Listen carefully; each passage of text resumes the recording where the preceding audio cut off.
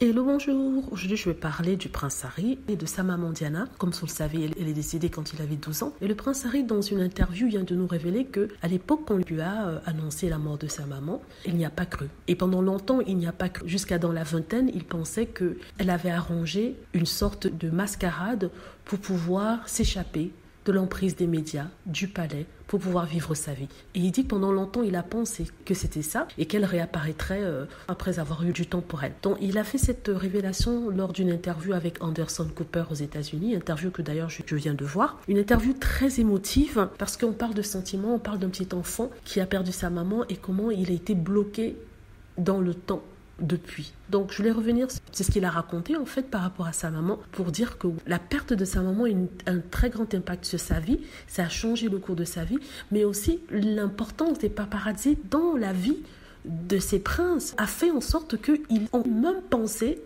que sa maman avait fait semblant d'avoir eu un accident pour disparaître et avoir la vie qu'elle souhaitait avoir. Pour vous dire à quel point les paparazzi et la presse étaient des éléments déterminants de leur bonheur au point que le prince ait pensé que sa maman faisait semblant d'être morte juste pour échapper à la presse aussi à la famille royale. Donc c'est ce moment de l'interview qui m'a beaucoup touchée et ça m'a mis l'arme à l'œil, il faut le dire, hein.